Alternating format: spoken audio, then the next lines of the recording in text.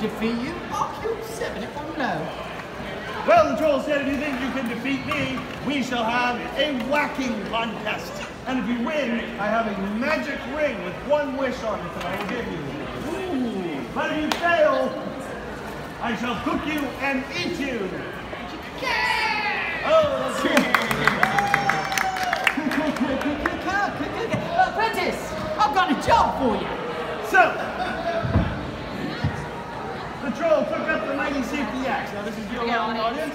And took a mighty swing. Whack! And another mighty swing. Whack! And a third mighty swing. Whack! And felled an enormous tree. Then the apprentice took up the safety axe. And he took a mighty swing. Whack! And another mighty swing. Whack! And a third mighty swing. Whack! And chopped off his own head. Oh, Nancy, Nancy, no,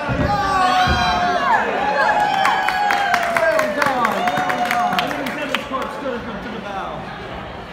The bow. Return to the audience to a thunderous round of applause. Well, now we're going to need a new volunteer. But first, wait, wait, we got another thing going on Oh, first. all right, well, all right, that's fine. Let's finish with the troll first. So the troll was mightily impressed with the apprentice's whacking ability, gave up in defeat, handed the ring over to who was left standing around.